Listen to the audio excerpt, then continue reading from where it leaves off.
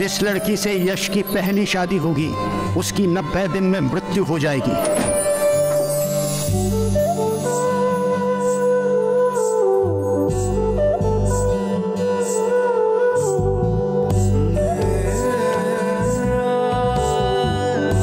कहते हैं, लिखा होता है पहले से ही।